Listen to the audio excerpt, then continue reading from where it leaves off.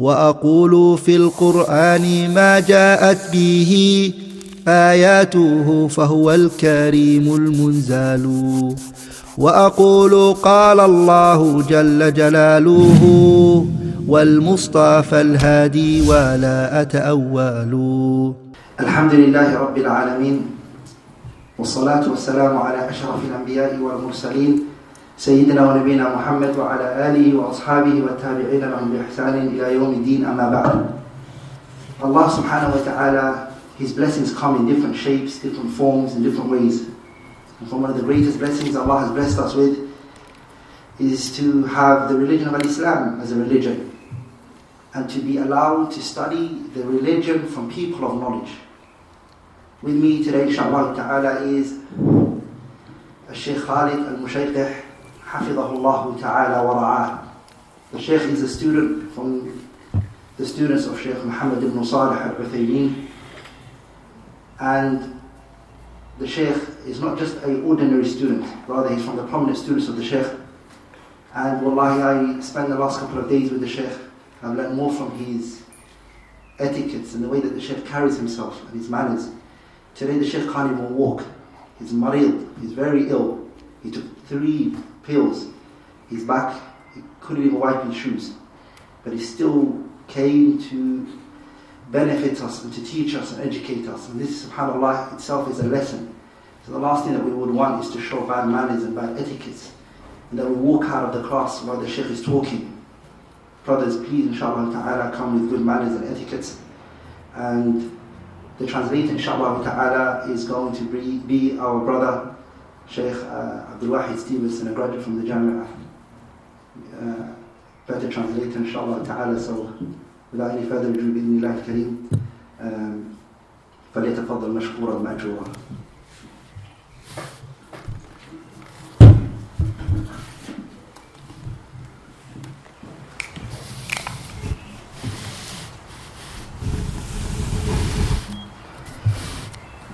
السلام عليكم ورحمة الله وبركاته.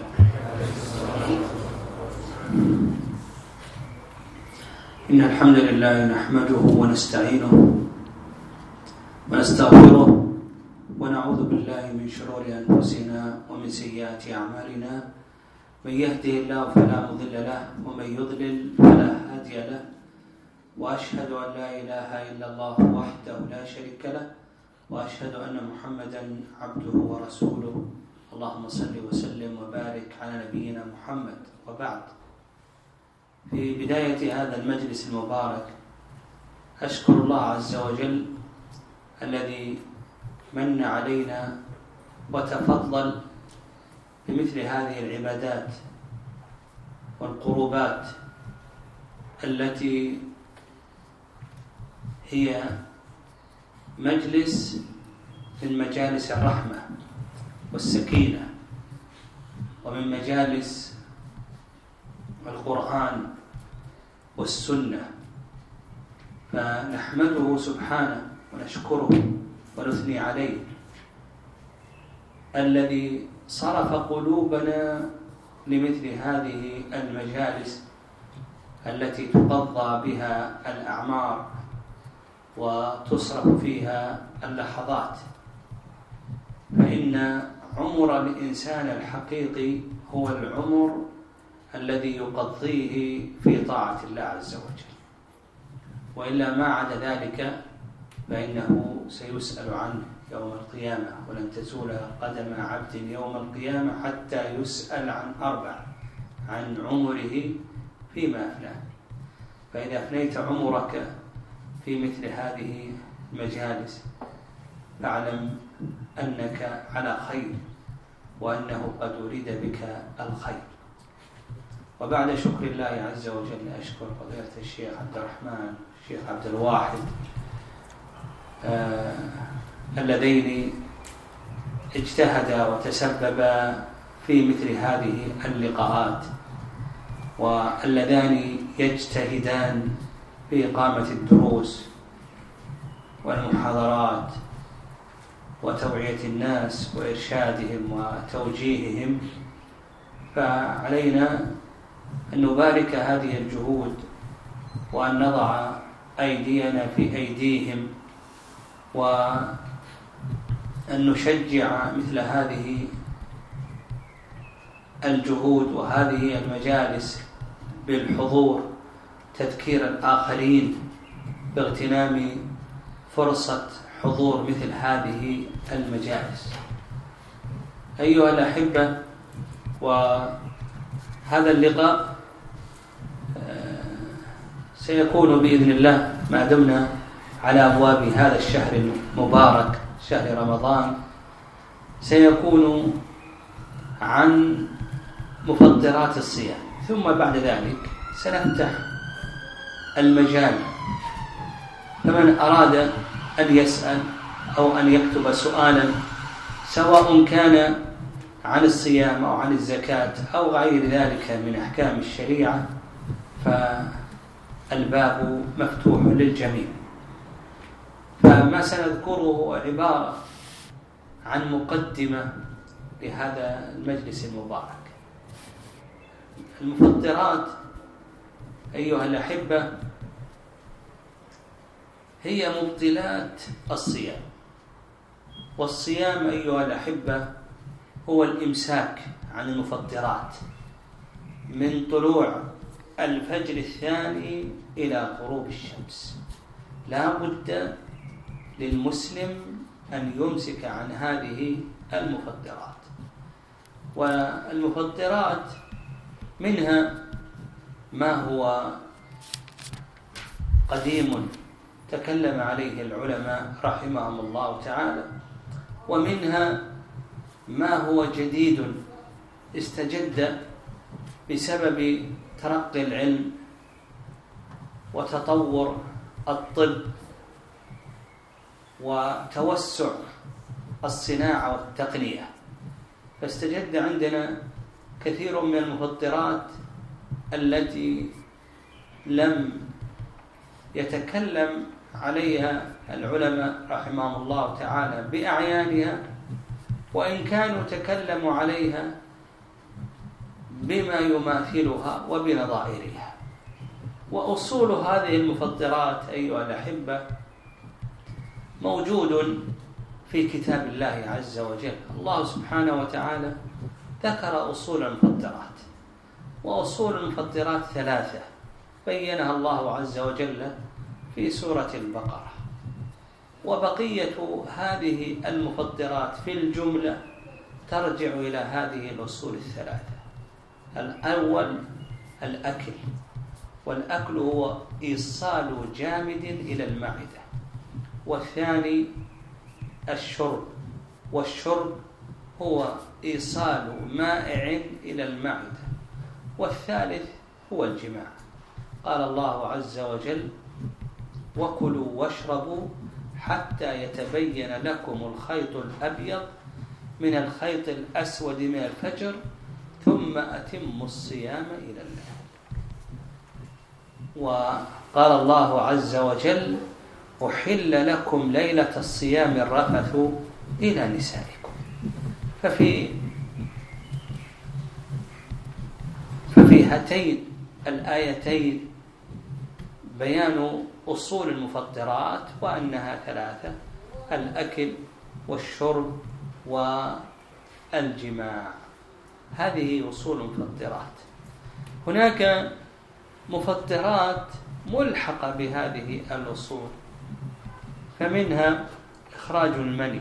إخراج المني هذا ملحق بالجماع وإخراج المني ذكر العلماء رحمهم الله تعالى له أقساما.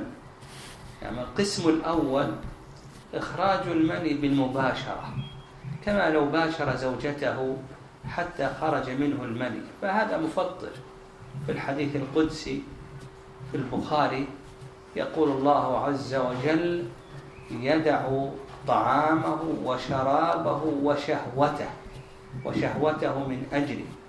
فقوله تعالى وشهوته يدخل في ذلك شهوة الجماع وكذلك أيضا يدخل شهوة إخراج المني. فنقول إخراج المني القسم الأول إخراج المني بالمباشرة كما لو باشر زوجته حتى أمنى فهذا مفضل. القسم الثاني أيضا إخراج المني بالاستمناء فإذا استمنى فإنه يبطل عليه صيامه باتفاق الأئمة. القسم الثالث إخراج المني بتكرار النظر. فإذا كرر النظر حتى أخرج المني فإن صيامه يبطل عليه. هذه ثلاث أقسام يبطل فيها الصيام بإخراج المني. ثلاثة أقسام يخرج فيها المني لكنه لا يبطل الصيام مما عفى الله عز وجل عنه. القسم الأول الاحتلام. فإذا احتلم في منامه ورأى جماعا وخرج منه المني فإن هذا قد رفع القلم فيه. رفع القلم عن ثلاثة. وذكر النبي صلى الله عليه وسلم النائم حتى يستيقظ. الثاني الثاني إخراج المني عن طريق التفكر. فإذا فكر في أمر جماع حتى خرج المني فإن النبي صلى الله عليه وسلم يقول كما ثبت في الصحيحين إن الله تجاوز لأمتي ما حدثت به أنفسها ما لم تتكلم أو تعمل. والثالث إخراج المني بنظرة فإذا نظر ثم خرج لم يكرر النظر وإنما نظر ثم خرج منه المني فإنه لا يبطل صيامه لأن النظرة أو نظرة الفجأة هذه مما عفى عنها الشارع. يقول النبي صلى الله عليه وسلم لما سئل عن نظر الفجأة قال اصرف بصرك.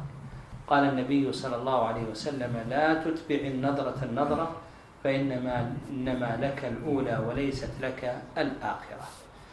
كذلك أيضا أيها الأحبة من المفطرات خروج دم الحيض وخروج دم النفاس وهذا بإجماع العلماء رحمهم الله تعالى.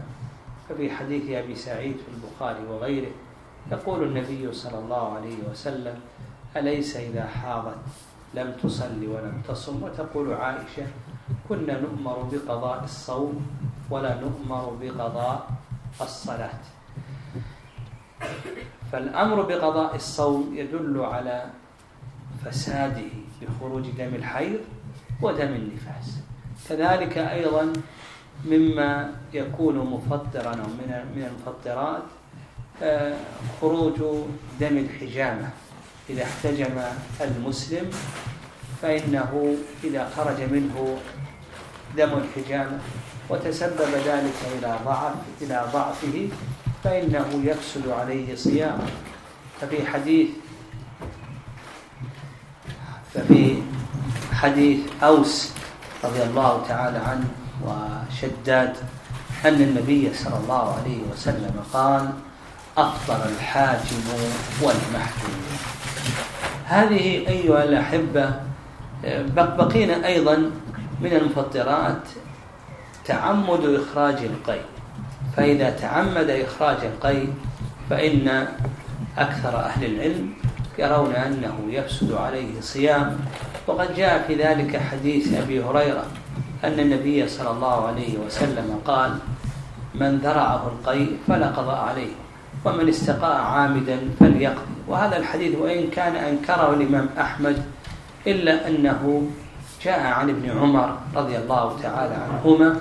وأيضا كما قال ابن تيمية رحمه الله قال بأن استقراء أدلة الشريعة تدل على أن ما كان فيه استفراغ ما كان فيه استفراغ شيء من البدن فإنه مفطر.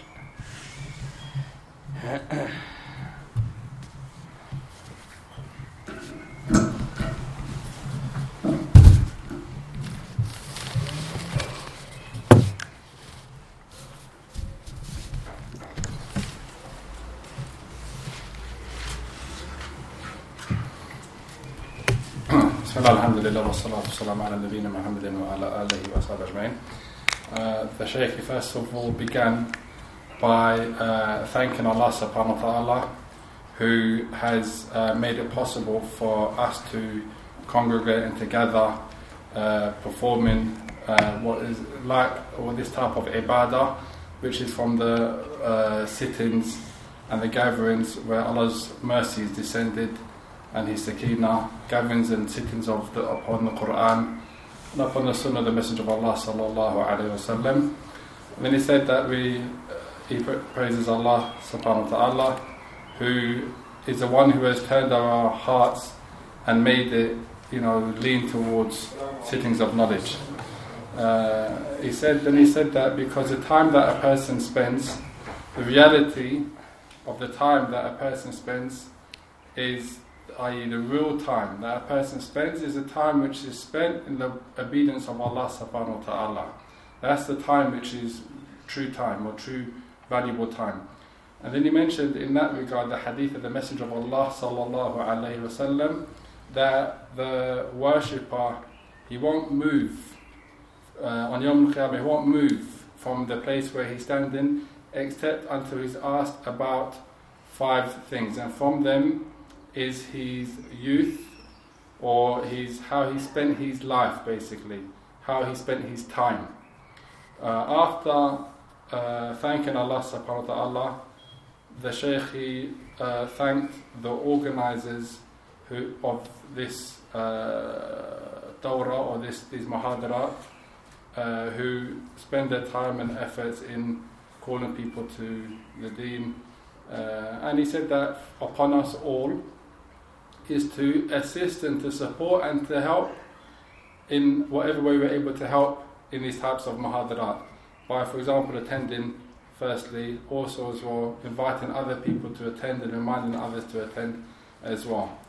Uh, after that, the Shaykh said that as we're at the gate or we're at the beginning soon to, of the month of Ramadan, then it's uh, suitable for us to speak about the things which nullify a person's fast. So that's going to be the topic of the Mahadara, the things which nullify a person's fast. And then after that, he's going to open the floor for questions, either on the fasting or on zakat or anything that you want to ask questions about. Uh, he said that he said, you know, my beloved brothers, he said the things which nullify your fast, uh, the mufattirat, are the things which nullify your fast. And he said fasting is a person remaining or abstaining from the mufattirat, the things which break your fast, from the from fajr up until the sun sets. And this is a definition of fasting. With regards to the things that nullify your fast, which is mentioned in the definition, then uh, there, there are the things which were known in the past and are mentioned in the books of fiqh. But at the same time, there are also things which are uh, recent, contemporary issues, which were not present in the time that the book, books of fiqh were authored, due to, for example, technological advances and due to, for example, how things are uh, made today, produced, and the industry and stuff like that. So he said there's many things that the ulama of the past, they didn't speak about them specifically, i.e., them actual things specifically. However, they spoke about even if they even while they spoke about things which are similar to them. And he said when you look in the Quran, you find that the usul or the foundation or the basis of things that break your fast are three: eating, drinking, and uh, sexual intercourse. These are the bases. And as for eating, then it is putting something solid into your that reaches your stomach. As for drinking, then it's a fluid that you put in your mouth that reaches your stomach. And as for uh, and then he mentioned, for example, he mentioned after that the evidence for that from the Quran, which is the uh, in Surah Al-Baqarah, where Allah subhanahu says, eat and drink up until the white line become the up until day becomes apparent, basically, and also as well the ayah where Allah subhanahu says, uh, and your wives are. Uh, the night of fa- the nights of fasting is permissible for you to have intercourse with your wives. That is what is the meaning of the ayah. The nights of fasting, ayah at the night time, it's permissible for you to have intercourse with your wife. So there are mufattirat, the Shaykh he said, that are connected to these ones. As an example, he gave uh, ikhraj al-mani. Uh, ikhraj al-mani, which is ejaculating semen, is connected to intercourse. I.e., ejaculation of semen is connected to intercourse. And when it comes to ejaculating, ejaculation of semen, then it's uh, three types, or the times in which it nullifies and breaks your fast is in three instances. Because there's three instances in which ejaculating semen doesn't break your fast. The three instances in which it breaks your fast is first if a person ejaculates after having uh, after having uh, mubashara with his wife. Mubashara here, it means not having intercourse but having uh, what's the tra- what would be a good translation? I would only use the word humping, but maybe foreplay, foreplay with your wife. If you have foreplay with your wife, then it, it breaks your fast based upon the uh, hadith of the Messenger of Allah, the hadith Qudsi, where Allah subhanahu wa ta'ala says in relation to the person that's fasting, he leaves off his food and his drink and his desires for my sake, I for the sake of Allah subhanahu wa ta'ala. So here, leaving off his desires, it means that he leaves off, uh, it means that if a person uh, ejaculates with foreplay, then his fast is nullified by that. Likewise, the second category is when a person ejaculates due to uh, istimna, uh, masturbation. He ejaculates due to masturbation. This, according to the uh, consensus, nullifies a person's uh, fast.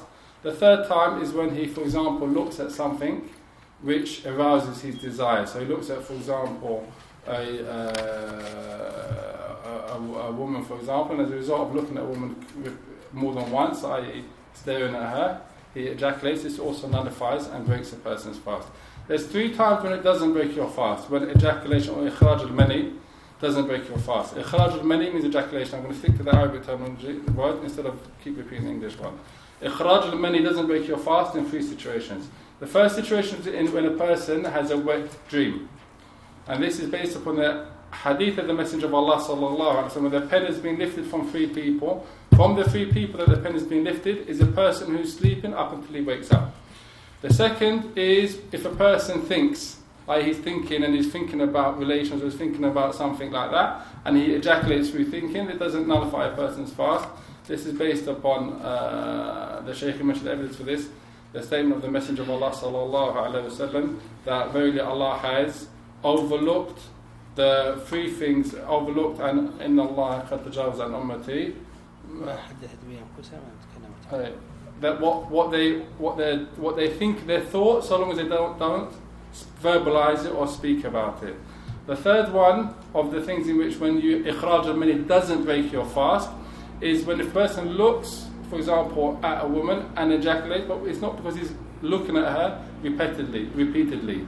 In this case, it doesn't break your fast, and the Shaykh he mentioned the hadith or the, as evidence for that that uh, when the Messenger of Allah was asked about looking at the opposite sex, he said the first look is for you and the second one isn't. So if it was just a look and the person ejaculated, then it wouldn't break your fast in that case. And he mentioned the second thing from the things that nullify a person's fast is in the case of women, uh, menstruation, uh, coming on her menstruation, and also postnatal bleeding.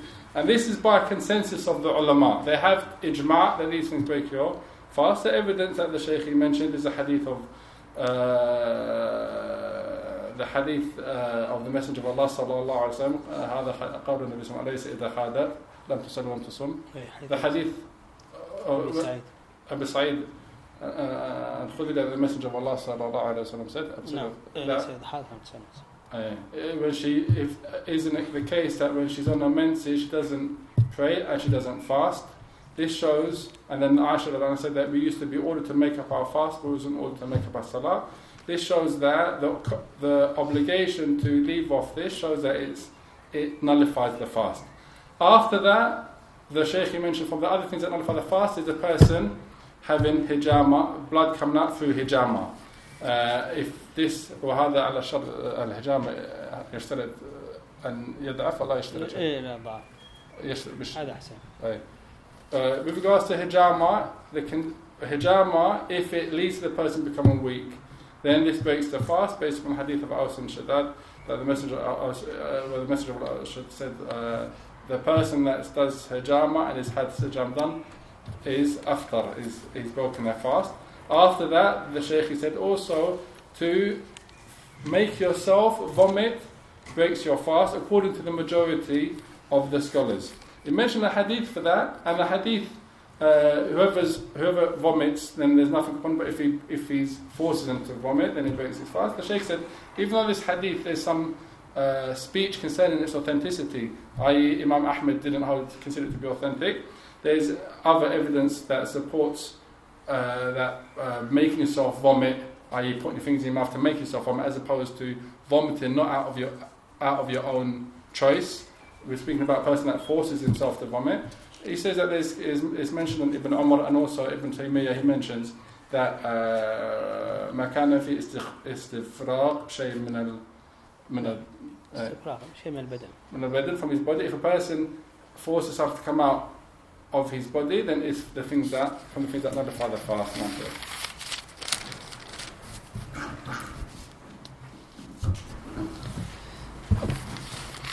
أيها الأحبة المفطرات السابقة, السابقة التي ذكرها العلماء رحمهم الله تعالى لا يفطر بها المسلم إلا إذا توفرت ثلاثة شروط وهذا ليس خاصا بهذه المفطرات بل كل منهيات الشريعة. كل ما نهى عنه الشارع لكي يترتب عليه أثره لا بد من توفر ثلاث شروط فمثلا مبطلات الصلاة مبطلات الصلاة محظورات الإحرام مفطرات الصيام اجتناب الخبث والنجاسة إلى آخره. كل ما نهى عنه الشارع لا يترتب عليه أثره إلا إذا توفرت ثلاث شروط الشرط الأول الذكر. وعلى هذا إذا كان ناسيا فإنه لا شيء عليه. في حديث أبي هريرة في الصحيحين يقول النبي صلى الله عليه وسلم من نسي فأكل أو شرب فليتم صومه فإنما أطعمه الله وسقاه فإذا نسي وأكل أو شرب أو نحو ذلك فهذا يتم صومه لا شيء عليه. والثاني الجهل وضده العلم. فإذا كان يجهل أن هذا مفطر يعني الجهل إما أن يكون جهلا بالحكم الشرعي وإما أن يكون جهلا بالحال. فالجهل بالحكم الشرعي لا يعرف أن هذا مفطر.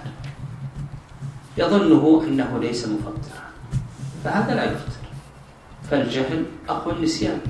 وكذلك أيضا لو كان جاهلا بالحال يعني يظن أنه ليل فبان نهار. فلا يفطر مثلا أكل يظن أن الليل لا يزال باقيا وأن الفجر لم يطلع.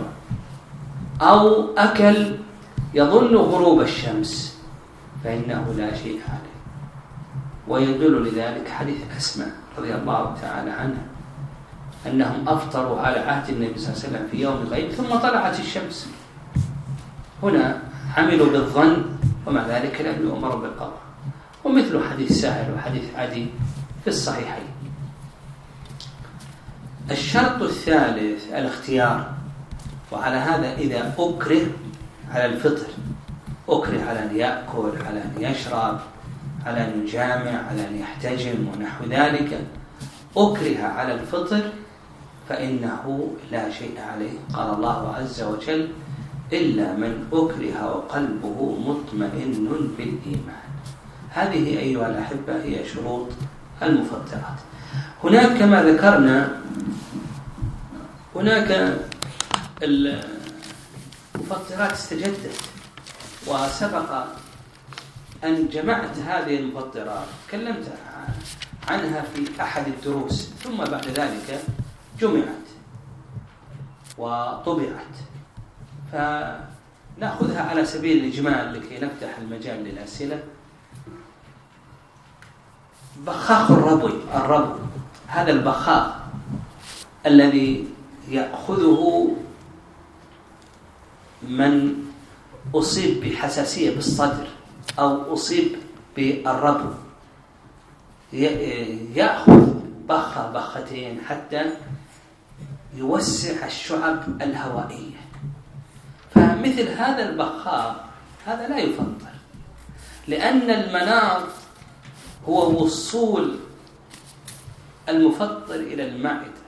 هذا لا يصل المعدة وإنما يذهب إلى توسيع إلى الشعب الهوائية وتوسيع الشعب الهوائية كما أن المادة السائلة الموجودة فيه هذه يسيرة جدا لو فرض أنه ذهب شيء إلى المعدة فإنه يسير جدا. وقد ذكر العلماء رحمهم الله أن أن اليسير هذا نعم أو أنه يعفى عن يسير المضمضة يتمضمض المسلم يمج الماء. لا شك أنه يبقى شيء من أثر المضمضة في فمه. هذا معفو عنه. فمثل هذا آه، ما قد يوجد لو فرض أن هذا السائل أو هذا البخاخ أو السائل الموجود في البخاخ أن شيئا ذهب منه إلى الماء كذلك أيضا قال الثاني الأقراص التي توضع تحت اللسان لعلاج بعض الأزمات القلبية. هناك أقراص يعني بعض الناس يصاب بقلبه تأتي بعض الأزمات. يحتاج إلى أن يضع أقراصا تحت لسانه قرص حبة. هذا القرص هذا يمتص عن طريق الحليمات التي تكون تحت اللسان. هو ما يبتلع شيء عن طريق الحلق وإنما ما تحت اللسان يقوم بامتصاص هذه الأقراص. فهذه لا تفطر لأن هذا لا يعود لأن هذا لأن كما ذكرنا المناط هو وصول إلى ماذا؟ إلى المعدة. نعم الوصول إلى المعدة. وهنا لم يبتلع شيئا إلى معدته. أيضا منظار المعدة ومنظر أيضا مثل منظار الفرج. يعني ما هو المنظار؟ المنظار عبارة عن أنبوب يدخله الطبيب عن طريق الفم إلى المعدة لكي يستكشف المعدة. ماذا في المعدة من جروح؟ أو ثقوب أو نحو ذلك. هذا المنظار إذا أدخل إلى المعدة عن طريق الفم فهل يفطر أو لا يفطر؟ هذا فيه آه، كلام عند العلماء رحمه الله لكن هذا يفطر إذا صاحبه شيء. والغالب أن الطبيب قبل أن يدخل المنظار يضع عليه مادة دهنية لكي تسهل دخول هذا المنظار عن طريق الحلق إلى المعدة. فهذا إذا كان عليه شيء شيء من المواد الدهنية أو شيء من الأدوية وأدخل المعدة فإنه يفطر أما إذا لم يكن عليه شيء من ذلك فإنه لا يفطر كذلك أيضا قطرة قطرة الأنف يعني ما قطرة عن طريق الأنف. هذه الأنف منفذ. عندنا منفذان إلى المعدة والثالث موضع خلاف. المنفذ الأول الفم هذا منفذ إلى المعدة. المنفذ الثاني الأنف. الأنف هذا منفذ إلى المعدة. ولهذا في حديث لقيط ابن صبرة أن النبي صلى الله عليه وسلم قال وبالغ في الاستنشاق إلا أن تكون صائما. لأنه إذا استنشق الماء يذهب إلى المعدة. فنقول إذا قطر في أنفه وحس بالطعم في حلقه إلى آخره فإنه يكون نزل إلى المعدة فإنه يفطر. أما إذا كانت القطرة لا تزال موجودة في الأنف فهذا لا يؤثر. بالنسبة لبخاخ الأنف هناك بخاخات تكون للأنف هذه لا تؤثر مثل بخاخ الربو كما سلف. التخدير إذا خدر البدن أو خدر عضو من أعضاء البدن.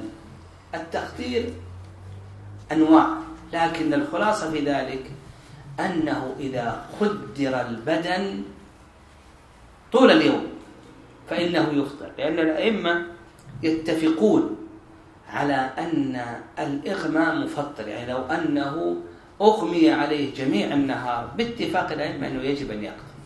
كذلك أيضا لو أغمي عليه لو خدر احتيج إلى إجراء عملية ثم بعد ذلك خدر من طلوع الفجر الثاني إلى غروب الشمس إذا حصل هذا التخدير فإنه يفطر لأن الأئمة يتفقون على أنه إذا أغمي عليه فإنه يجب عليه أن يقضي الصيام. أما لو خدر في أثناء النهار كان مفيقا في أوله ثم خدر وأجري له عملية فنقول بأن هذا جائز لا يفطر. ما دام أنه لم يتناول مفطر المفطرات وإنما آه، حصل التخدير فقط. فالخلاصة في التخدير إن كان جميع النهار جب وجب القضاء.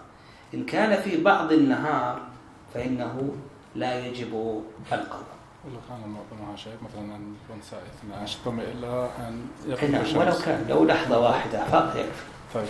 نعم.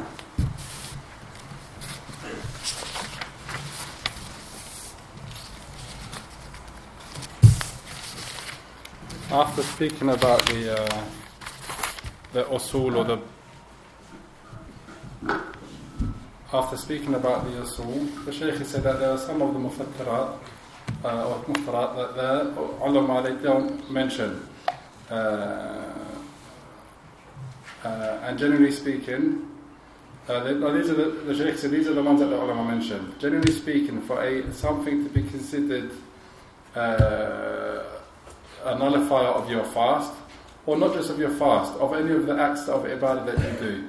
Uh, anything which is prohibited in Islam, in the Sharia, in the Quran, and the Sunnah, for it to have the impact which is related or connected to its prohibition, it has to fulfill three conditions.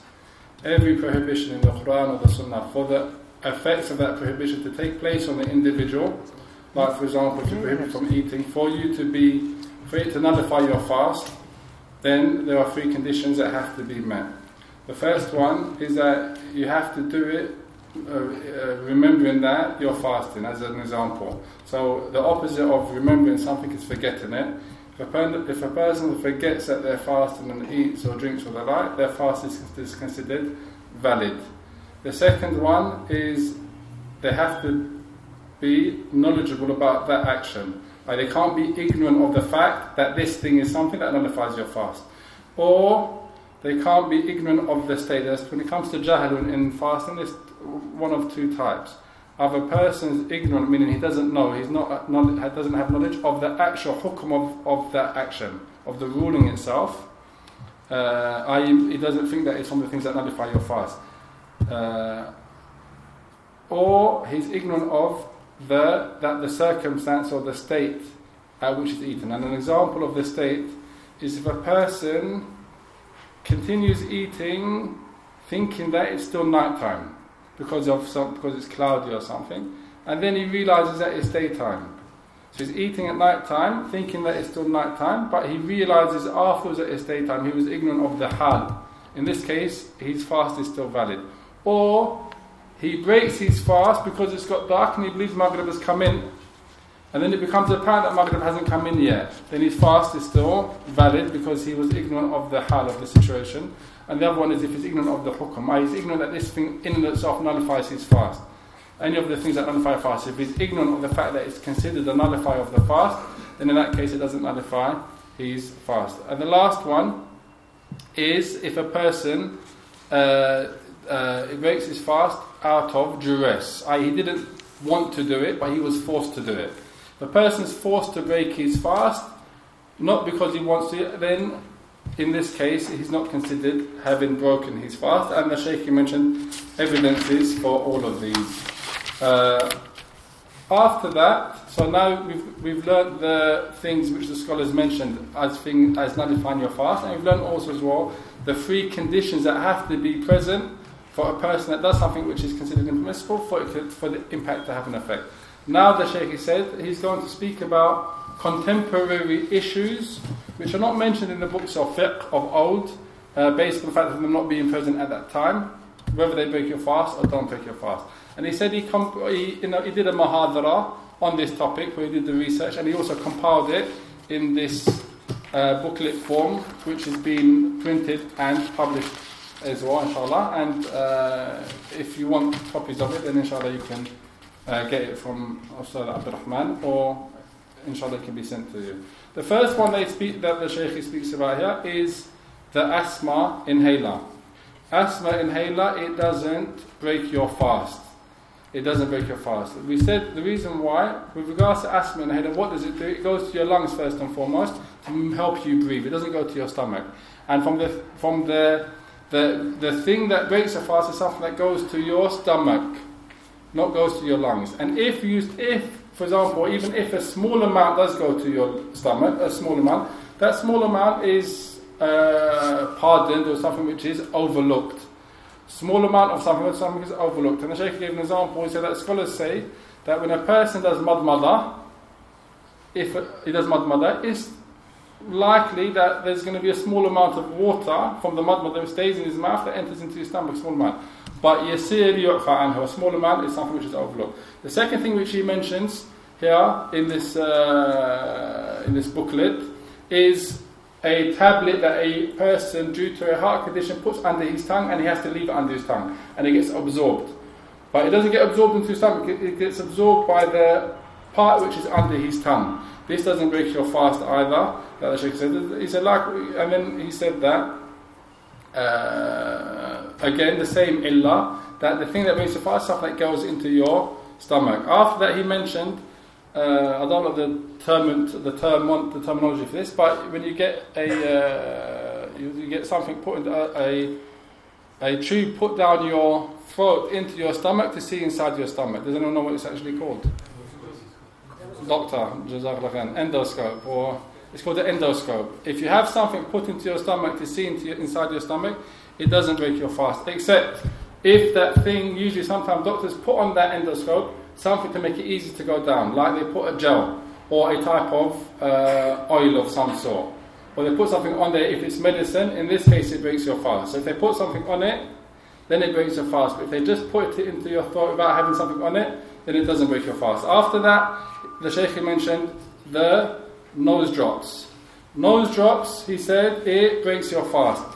The reason why nose drops, when it comes to things that reach your stomach, is two places your nose or your mouth. Those are the two places where anything you put in it, it can reach your stomach. And this is based upon, and we know this as well, based upon the hadith of the Messenger of Allah sallallahu alaihi said, be excessive in making istinshaq, which is uh, inhaling water into your nose, except if you're fasting. The reason why is because when you're fasting, it can go into your stomach. So if a person puts nose drops and it reaches the back of his throat, for example, he tastes it there, then it breaks your fast. But if he just puts nose drops and it remains here, then it doesn't break your fast. But if it goes beyond that, then it breaks your fast. After that, he spoke about uh, uh, the other thing he spoke about was have, when you have a general anesthetic. When you have a general anesthetic, if it's from before the time of beginning your fast and for the whole day, then it breaks your fast. Based upon what the scholars say, for the person that's unconscious for the whole day, he doesn't have a fast. But if, for example, the person woke up fasting, he began his fast, and then he goes and he has this, op- he has, he's having, has this procedure because he's going to have an operation. So he has a general anesthetic during the day, then it doesn't break his fast, uh, and his fast is considered valid. I'm checking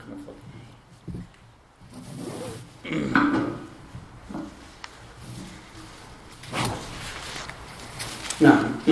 أيضا أيها الأحبة من المفطرات ما يتعلق بقطرة الأذن وكذلك أيضا غسول الأذن. قطرة تستخدم في الأذن أو غسل الأذن. هل هذه مفطرة؟ مفطرة؟ هذه ليست مفطرة. قطرة الأذن هذه لا تفطر. أو المراهم أو الدهونات تتخذ في الأذن هذه لا تفطر لأنه ليس هناك اتصال بين القناة السمعية والجهاز الهضمي. ليس هناك اتصال. فمثل هذه الأشياء لا تفطر لكن بعض الأطباء قال إذا خلقت طبلة الأذن إذا كانت طبلة الأذن مخروقة واستخدمت مثل هذه القطرات ممكن تذهب إلى الجهاز الهضمي. فنستثني فنستثني ما يتعلق بما إذا كانت الطبلة مخروقة. فإذا كانت مخروقة فيقال بأنها تفطر. قطرة العين أو المراحم التي تستخدم في العين وكذلك أيضا الكحل هذا كله لا يفطر. لأنه طبيا من خلال التشريح ليس هناك اتصال بين القناة الدمعية وبين الجهاز الهضمي وما يوجد قد يكون بعض الناس يقول أنا أجد الطعم في حلقي إذا اكتحلت أو إذا وضعت القطرة. نقول نعم هذا الطعم ليس لأن هناك اتصال بين قناة العين والجهاز الهضمي لا هذا الطعم إنما وجد بسبب حليمات الحليمات الموجودة في اللسان. فيتذوق مثل هذه اللسان لجريانها في العروق وليس هناك اتصال. ولهذا الفقهاء رحمهم الله ذكروا أنه لو وطئ على حنظل نوع من الشجر يجد طعمه في حلقه بسبب نفوذ مثل هذه الأشياء. فمثل نفوذ هذه الأشياء هذا لا يؤثر. توقف ترجم وتوقع طيب. Uh, then the Shaykh speaks about a few more types of drops. Air drops, he says, doesn't break your fast because the ears is not a, uh, it doesn't lead to the throat or the, doesn't lead to the stomach. Likewise, he mentions as well, uh, even if you have your ears shringed or you have your ears washed out or the like, it doesn't break your fast. However, the Shaykh said that if you've got, for example, a perforated eardrum or you've got a hole in your eardrum, then in this case it uh, breaks your fast based upon the statement of uh, doctors that in that case, it's possible for it to lead to your stomach. Then he spoke about eye drops. He said eye drops they don't break your fast either. He said eye drops don't break your fast because the eye drops, same reason, doesn't it doesn't lead to the stomach, the passage of the stomach. And eye drops, even if you may put an eye drop, you might taste it on your tongue. This is not meat it doesn't indicate that it's gone to your throat. Taste eye drops, doesn't indicate that it's gone to your throat. It doesn't break your fast. Uh, and then the Sheikh mentioned something which the fuqaha mentioned الفقهاء يذكرون شيخ بنسبة الحنظل إذا وطئ على حنظل يجد طعمه في حلقه يقول لا يفطر نوع من الشجر إيش وضع وين شيخ في عينه في عينه في لا إذا وضعه في قدمه يجد طعمه في حلقه Yes, if you step on it. Yeah, so they mention if you step on this type of uh, fruit, this fruit, yeah, yeah. fruit, you might taste the, find the taste in your throat, in your tongue, but it doesn't obviously it doesn't break your fast. Naturally, no. أيضا مما استجد أيها الأحبة ما يتعلق بالدهانات والمراهين واللصقات العلاجية فإذا وضع على بدنه دهونا دهنا دلك به البدن أو جعل على بدنه لصقة أو مرهما طلبه البدن هذا كله لا يؤثر. يعني كما ذكرنا أن المنافذ المعتادة للمعدة هي ثلاثة الأنف والفم والشرج هذا موضع خلاف بين العلماء رحمهم الله. الآن استجد منفذ أخير وهو رابع وهو حقن حقن الجسم بالجلوكوز يعني بال آه، بالإبر المغذية. هذا أصبح الآن منفذ من المنافذ المستجدة قال أيضا قسطرة الشرايين الشرايين مجاري الدم قسطرتها إدخال أنابيب فيها لتنظيف هذه الشرايين وإبعاد ما قد يوجد فيها من آه، عقد دموية تؤدي في إحداث الجلطات. فهذه لا لا لا تؤثر. الغسيل الكلوي إذا حصل عند الإنسان فشل في الكلى وأحتاج إلى أن يغسل آه، دمه فإن هذا يفطر لأن هذا الدم عندما يخرج ثم يرجع مرة أخرى يضاف إليه شيئا من الأدوية والسكريات ونحو ذلك كما أنه يخرج ثم يدخل يحقن في البدن مرة ثانية. وسيأتينا أيضا أن حقن الدم في البدن أنه مفطر.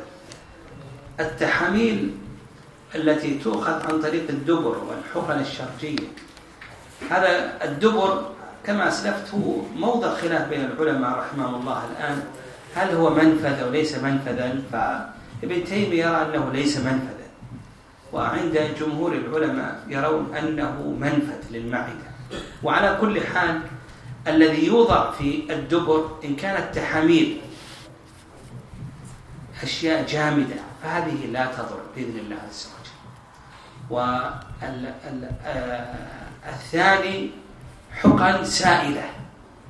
فهذه الحقن السائلة آه، إذا وصلت إلى الأمعاء الدقيقة فكثير من الأطباء يقول إذا وصلت إلى الأمعاء الدقيقة فإنها تمتص إلى المعدة. نعم. آه. وحينئذ أحوط أن المسلم يقضي هذا اليوم. المنظار الشرجي كما تقدم المنظار الشرجي يعني منظار يدخل عن طريق الدبر لكشف ما في القولون من آه، تقرحات أو تورمات أو نحو ذلك إلى آخره. فهذا حكم حكم منظار المعدة وكما تقدم ذكرنا التفصيل في منظار المعدة. منظار الذكر ذكر الإنسان قد يوضع فيه منظار. أو يوضع فيه أدوية أو نحو ذلك. هذه كلها لا تضر. يعني ليس هناك اتصال بين الجهاز البولي وبين الجهاز الهضمي المسالك البولية ليس بينها وبين الجهاز الهضمي اتصال. فكثير من النساء اليوم تتداوى عن طريق التحاميل في الفرج أو الرجل يتداوى عن طريق منظار يوضع في ثقبة ذكره لشيء من العلاجات أو نحو ذلك. أو المرأة تأخذ منظار للرحم أو تضع أدوية في الرحم ونحو ذلك. هذه كلها لا تضر ولا تفطر لأنه كما أسلفنا أنه لا اتصال بين المسالك. علم التشريح الآن يقول لا اتصال بين المسالك البولية وكذلك أيضا الجهاز الهضمي. التبرع بالدم كما أسلفنا الحجامة مفطرة فالتبرع بالدم يكون مفطرا لأنه في حكم الحجامة والغالب أنه يضعف البدن. أخذ شيء من التحليل أخذ شيء من الدم للتحليل هذا لا يضر لأن الذي يفطر هو الحجامة. الحجامة هذه دم كثير يخرج من البدن؟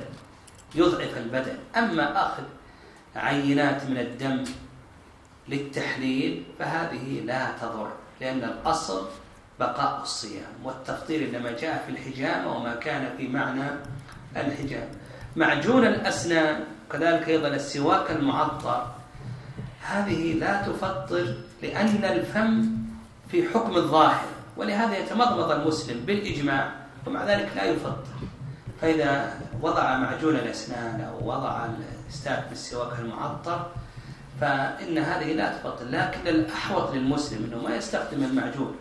يعني يستخدم الفرشة بدون معجون. أو يستخدم السواك الذي ليس معطرا.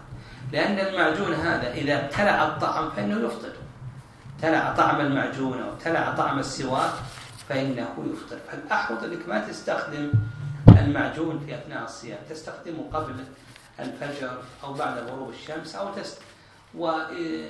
وإن أردت أن تستخدم فتستخدم المسواك غير المعطر أو الفرشة التي ليست معطرة لما ذكرنا لأنه إذا بلع الطعم هذا يؤدي إلى إفساد الصوم المضمضة الدوائية والغرغرة الطبية هذه كلها لا تفضل يعني إذا احتاج أنه يتمضمض بشيء من الدواء أو يغرغر بشيء من الدواء لأن الفم كما ذكرنا في حكم الظاهر ولهذا يتوضأ يتوضأ المسلم ويتمضمض.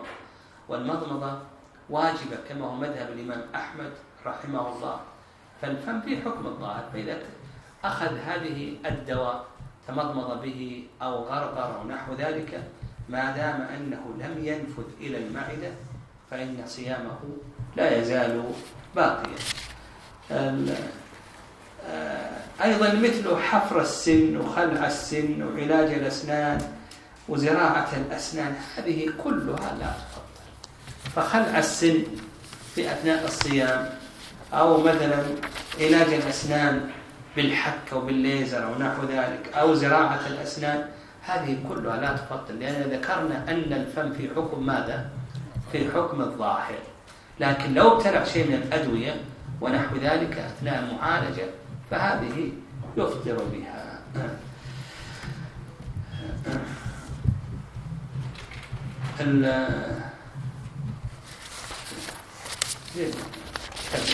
لا عندنا شيء بسيط.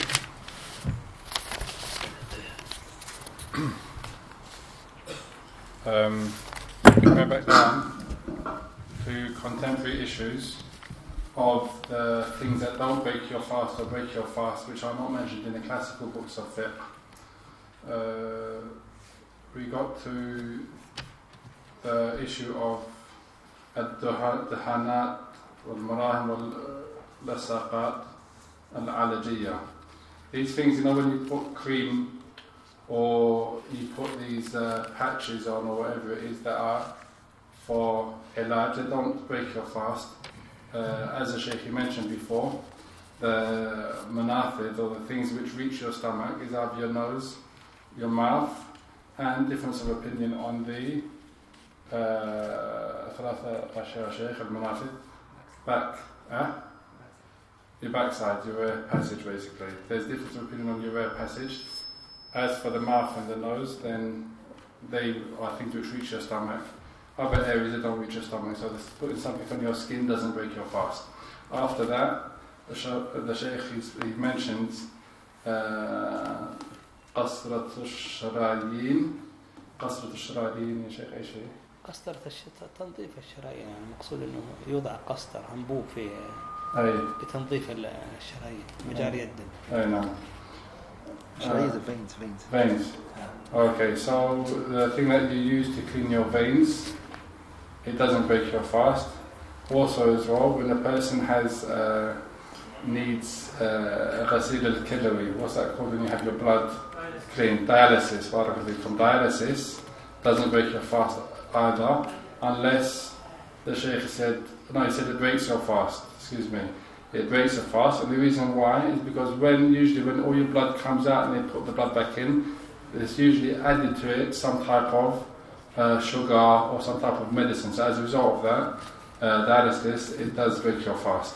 After that, the Shaykh spoke about uh, when you uh, no, things that you put in your التحامل بتتسبب في كفار المرء ومثله فالغسول المهبل وهو ذات الحمد إلى شيخنا هذا بالنسبة لنا التحامل التي تستخدم أن تخرج المرء كل كل ما كان مستخدم عن طريق الفرج ما أي so anything for example which is huh?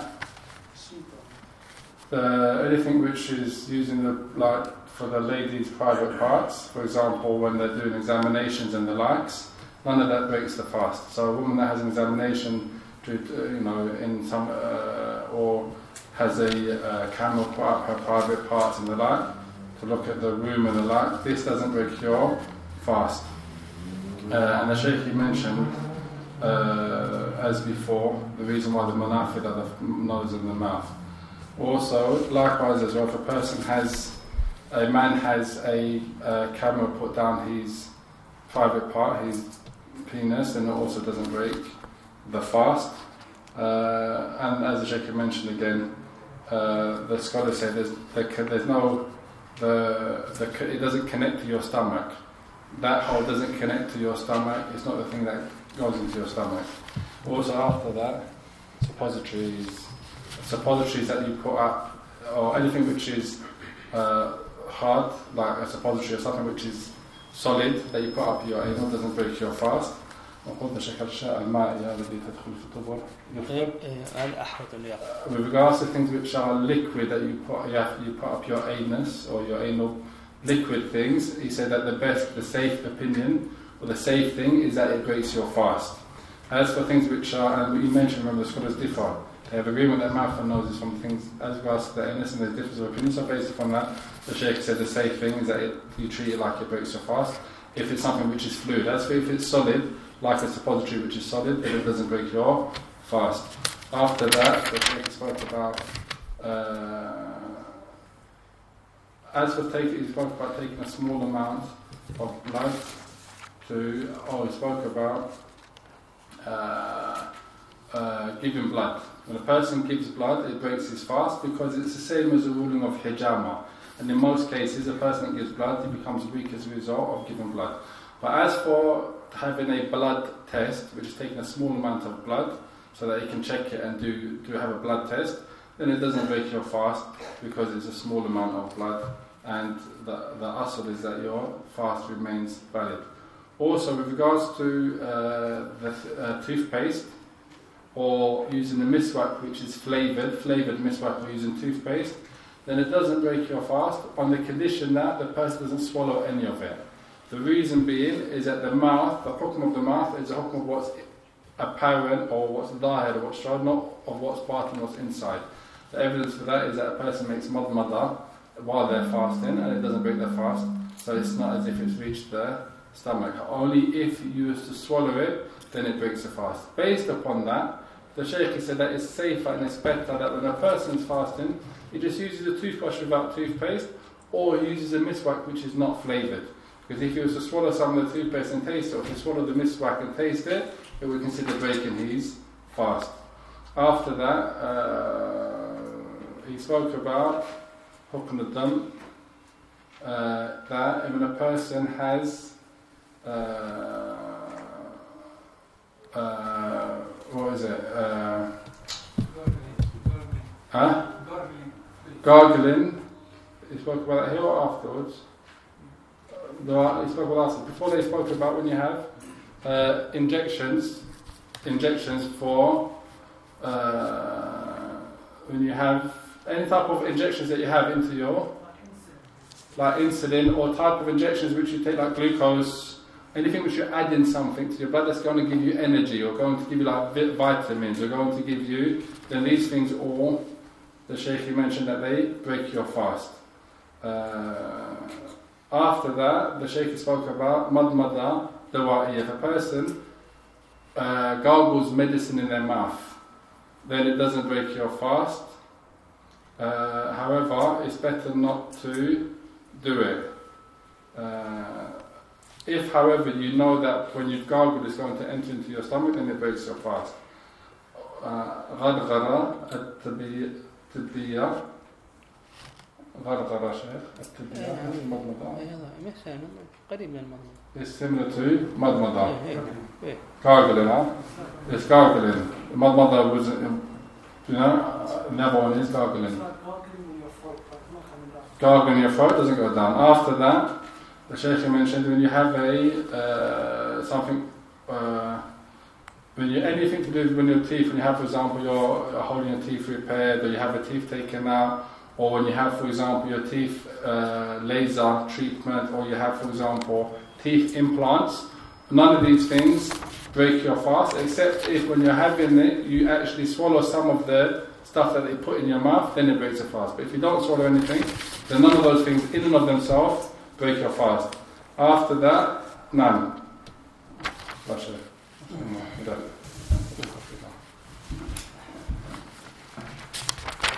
Bismillah. أيضا أيها الأحبة ما يتعلق بالأسنان المتحركة.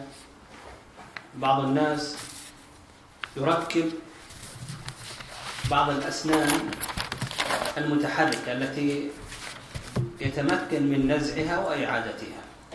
فإذا عادها مرة أخرى إلى فمه هذا لا يضر لأن الفم في حكم الظاهر. إلا أن العلماء استثنوا ما إذا وضع فيها شيئا من الأدوية ثم ابتلع هذه الأدوية. فإذا وضع فيها شيء من الأدوية أو المراهم أو نحو ذلك وابتلعها فإنه يفطر أما إذا لم يبتلع شيء من ذلك فإنه لا يفطر التلقيح الصناعي هذا يفطر الرجل دون المرأة. يعني بعض الناس آه، لا يرزق بذرية فيلجأ إلى ما يسمى بأطفال الأنابيب.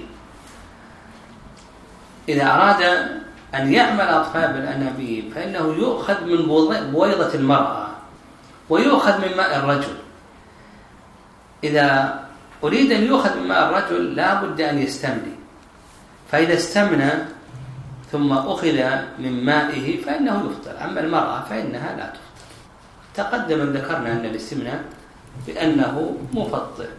منظار الرحم وتركيب اللولب هذه كلها كما تقدم كل ما يتعلق بالمسالك البولية بفرج الرجل أو فرج المرأة هذا كله لا يفطر فالمرأة إذا ركبت لولبا أو وضعت منظارا أو وضعت جحامين أو نحو ذلك هذه كلها لا تبقى أو إشاعة إشاعات أو نحو هذه كلها لا تضر الصيام. مداواة الجوف الدماغ مداواة الدماغ هذا لا يفطر لكن مداواة الجوف كما تقدم ذكرنا أن الجوف منفذ. نعم أن المناط هو وصول الأكل أو الشرب أو ما في حكمهما إلى المعدة شرب الدخان هذا مفطر عند العلماء. التنويم المغناطيسي حكم حكم الإغماء كما تقدم ذكرنا الحقن العلاجية هذه الحقن يعني ما يوضع الحقنة توضع في الوريد أو في العضل ونحو ذلك. هذه إن كانت مغذية مثل الجلوكوز فإنها مفطر إذا كانت الحقن لا تغذي لا تغذي وإنما هي لتخفيف الألم ونحو ذلك فهذه لا تضر. لكن الذي يضر هو الحقن المغذية فقط. الأنسولين بالنسبة لأصحاب السكر هذه لا يفضل. نعم.